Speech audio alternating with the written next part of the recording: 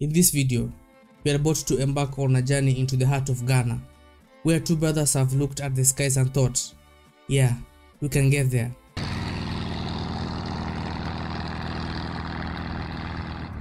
Meet Isaac Otto and Jacob Labi, the dynamic duo who saw the Wright brothers and said, Move over, we've got this.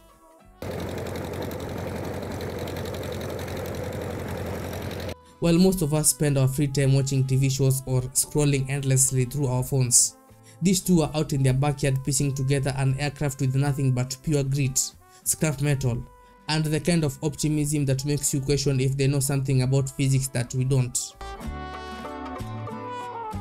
And what did they use to build this?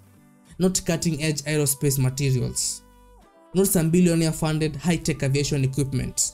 No, these guys took one look at a pile of discarded junk and thought, perfect, let's build an airplane. And now, against all odds, and perhaps against the advice of common sense, their aircraft, the Gofi 1601, is sitting on a tarmac waiting for its grand moment. Whether that moment involves a glorious ascent or an unscheduled appointment with gravity, well, that remains to be seen. Otoo and Larbi took a significantly different approach. They went shopping in a scrapyard. Jacob and Isaac knew they were destined for greatness. At age 8, they manufactured their own car. Then, they decided to fulfill their long standing dream of building an aircraft. In order to achieve this, they told me they started small in the backyard of their residence at Dompila 2 and they used local materials such as iron square pipes, plywood, and aluminium sheets to construct the light aircraft. This isn't so much state of the art as it is state of what we could find.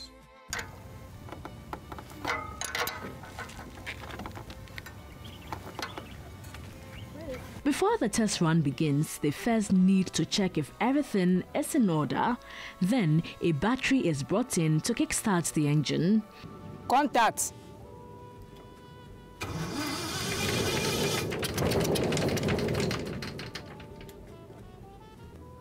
Contact. Moving of ailerons.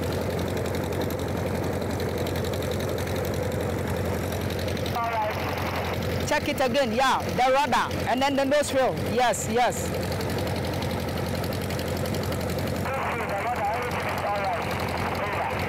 And off goes Gofi 1601.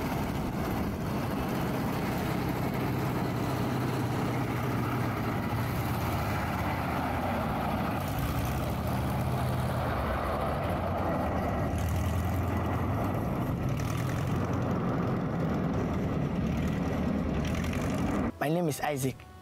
That's why the plane is God has favored Isaac. It's a gift from God. So if I stand up and say I will do something, I just started and doing it. We can use this aircraft for police to patrol around. But hey, who needs expensive aviation grade materials when you have determination and few rolls of duct tape?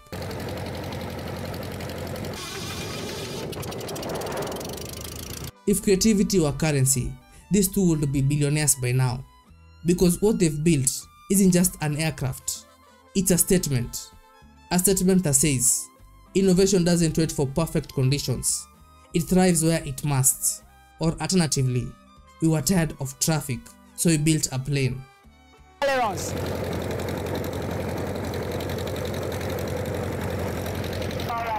Check it again, yeah, the rudder. And off goes Gofi 1601. Gofi 1601 can carry two people with a maximum weight of 757 kilograms. The engine, which runs on petrol, is a used Volkswagen engine which produces power to drive the propeller. Please, you see this one? This is called joystick.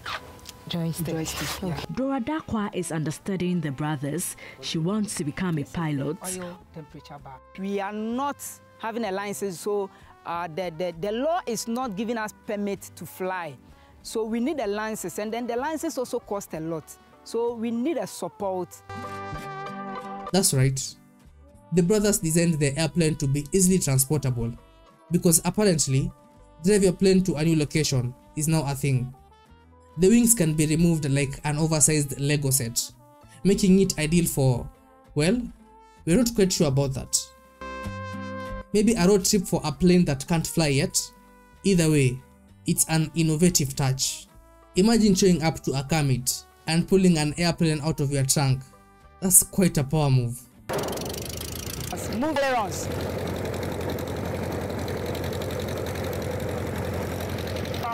Now, let's talk about what's powering this mechanical marvel. You might expect an engine designed specifically for aviation, something lightweight, something powerful, something meant to be in the sky. Well, nope, it's a Volkswagen engine, a car engine to be specific. The same type of engine that once powered a modest road vehicle is now being asked to defy the laws of physics and take to the skies. Uh, we had a VW 40 horsepower engine that we used to convert into an aircraft engine. It took us about 10 years in building this thing and we started from scratch. We used um, a wood and we developed it from that stage to this, this stage.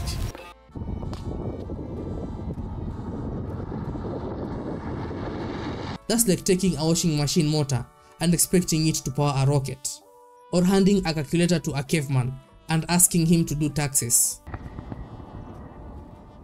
But you have to admire the confidence. It's as if the brothers looked at their project and thought, you know what would make this better? The same engine that used to take Uncle Kojo to work. We thank you, Jehovah Almighty. And to be fair, Volkswagen engines are known for their durability. They've powered everything from cars to boats, and some questionable DIY contraptions. But an airplane? That's a new one. So, will it work? Only time will tell, and maybe a very brave test pilot.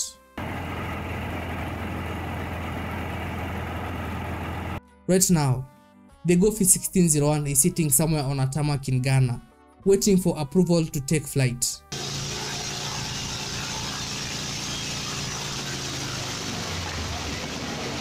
And while some people might be skeptical or just mildly terrified, you can't help but admire what these brothers have accomplished. They've built a two-seater aircraft capable of carrying up to 800 kilograms entirely from scrap and sheer willpower. They've taken the limits of innovation and gave them a one-way ticket to the sky. Sure, some might question the wisdom of strapping themselves into a homemade airplane powered by a recycled car engine. Some might even say, this seems like a great way to meet the ground at a high speed. But isn't that what innovation is all about? Taking risks, defying expectations, and doing something no one ever thought possible.